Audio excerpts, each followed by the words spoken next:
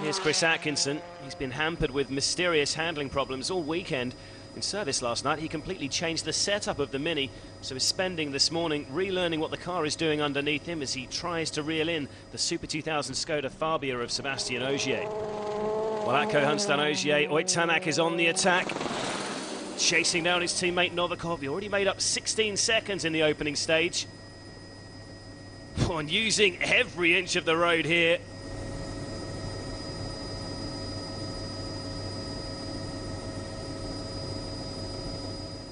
Yevgeny, though, is looking to respond in this spectacular stage 10. The Russian M Sport driver is also pushing hard, not just chasing his equal best WRC finish, but one slip up from Mikko, and he could be fighting for a first ever rally win. Not far from the end of the stage now, and he is on a flyer.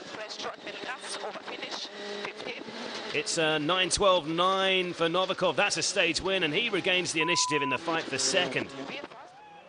Moving straight on to the 14 kilometres of Monte Olia, and that's a mistake from Thierry Neuville crunching into the tree. Really hasn't been his weekend. The Belgian, another restarting this morning. One driver certainly still in the hunt for points, though, is Mads Østberg. The Norwegian has set himself the target of fourth position by the end of the day. Certainly on course. It's keeping the power down through the technical finish of stage 11 hundreds of spectators lining the stage. And he is safely through the hairpin that caught out Neuville. That is another rapid time from Østberg and Jonas Andersson. They continue to close on Atkinson and Ogier. Mads remains on target then. In the fight for second, meanwhile, Ott Tänak has done his best to keep the pressure on his teammate Novikov. Making up a minute is a big ask for the young Estonian, especially in this tight tree-lined road. Absolutely no margin for error. Pace notes again critical in here. Novikov, meanwhile, has been a different driver in 2012. His newfound control and maturity really paying dividends, as is his new partnership with Ilka Minor. Eight is trained. Left zero short over Treskas. Right one short in. And right four short. Oh, but he's made the same mistake as Neuville. Outbraking himself at the hairpin. It's going to cost a few seconds. He is back on his way. But again, it allows Tänak to close up slightly. Sardinian road still proving tricky at times then. After the carnage of Friday, this has at least been a mercifully calm day so far for the rally leader. Even when driving with caution, really difficult here for Hirvonen to find any sort of rhythm while focusing on staying in the middle of the road. Morning loop is cleared with no dramas. Mikko remains on course for win number 15. After stage 11, Hirvonen's lead has increased, but it is tighter in the battle for second. The M Sport boys within 50 seconds of each other, following that mistake by Novikov. Østberg remains on course to catch both Atkinson and Ogier. Well, here's an unexpected visitor to the Saturday stages, taking to two wheels for a change. World champion Sebastian Loeb out of the rally, but keeping an eye on proceedings. Sebastian, it's still a crash helmet, but it's only two wheels instead of four. What's going on today? I broke two wheels, so I have only two left. Uh, what's going on? I just go uh, to see the rally with friends, and uh, that's it. is it with the disappointment of yesterday? This is better to do this than come in the rally car. yes, maybe. So yeah, it's uh, not not often that I can watch those are driving.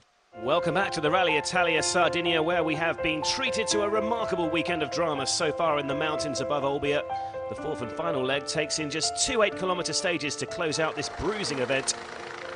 The rough technical Gallura test lies ahead. It might be short, but packs a powerful punch. Malcolm does have his two M Sport runners in the top three, but it's been a frustrating weekend for the work sport team. Petter Solberg was devastated following his mistake on Friday. For now, though, he is focused on a consolation power stage win. Former world champ will be even more desperate to claim victory for Ford in Spain. And this is going to be close to his teammate Latvala's time. He is quicker in the power stage, but that's scant consolation after a disappointing rally. Well, just want to say really sorry to, to Malcolm and the, and the Ford team. You know, I, you know, I tried to do my best for everybody, but I, I failed. So I can't say anything else. Very disappointing, but my own fault. Back to that intriguing fight for fifth between Sebastian Ogier and this man, Chris Atkinson.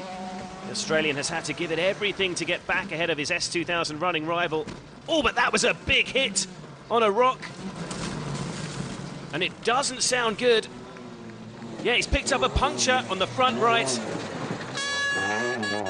A really, really frustrating finish to the rally for Atko then. That's blown any hopes he had of regaining fifth. After surviving the bulk of the Sardinian stages, he's been caught out with the end in sight.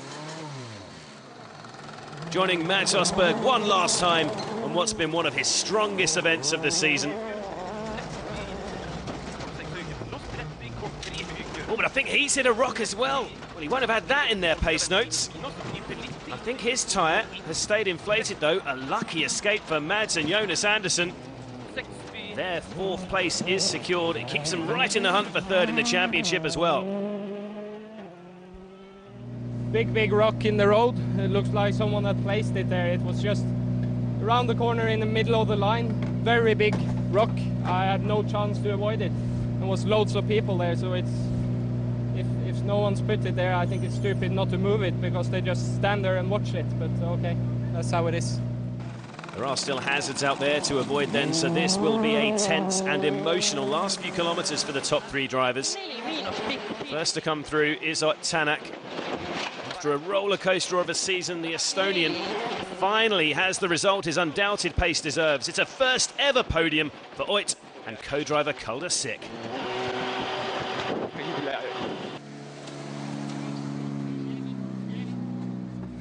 Yeah, I don't know. It's amazing feeling. I was like getting some tears already, like before the end of the stage. But uh, I don't know. I couldn't imagine that it's it would be that good feeling, but it's so nice feeling. Tanak safely home then, so can his M Sport teammate hold on for the runner-up spot. Evgeny Novikov carefully picking his way through the tight and twisty gravel tracks of Gallura. Unsurprisingly, none of these drivers interested in power stage points. The Russian rocket survives for the runner-up spot. And after a rough weekend for the Works Fords, at least M Sport can celebrate a double podium. Yes, we are very happy. It was a great result and a great weekend uh, for us. We enjoyed a lot, so uh, it's uh, it's cool. And here's our rally leader with the final stage snaking away in the distance. This might have been one of Mikko Hirvonen's easiest wins, but while his main rivals fell by the wayside, the Finn still had to bring the car home.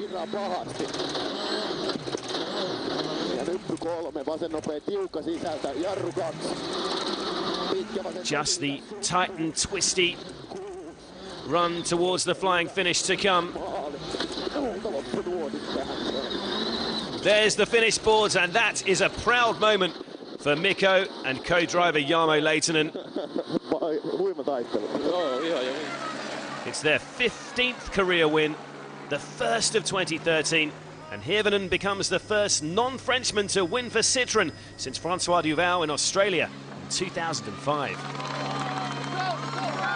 An understandably emotional rally winner. There's confirmation that it was Solberg who claimed the power stage win with Latvala and Thierry Neuville also claiming bonus points, but it's Hirvonen has the biggest smile.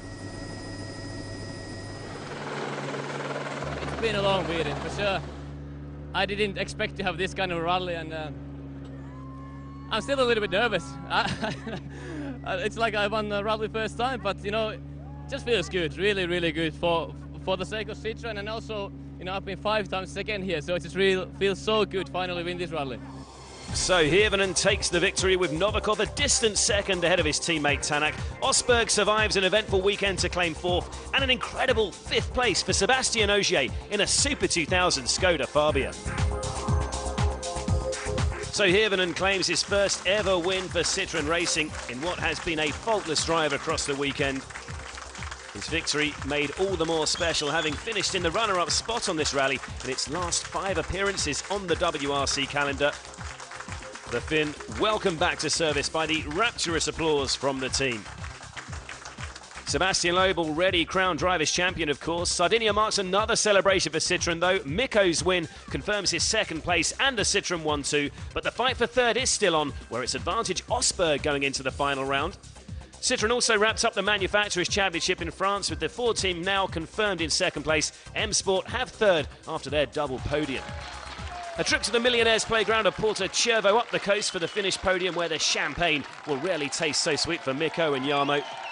To finish first, first you have to finish. Sardinia once again proof of that tale. The season finale takes us to the sun, sand and sea of Rally Catalunya in Spain. That's in two weeks' time. Until then, it's goodbye from Sardinia.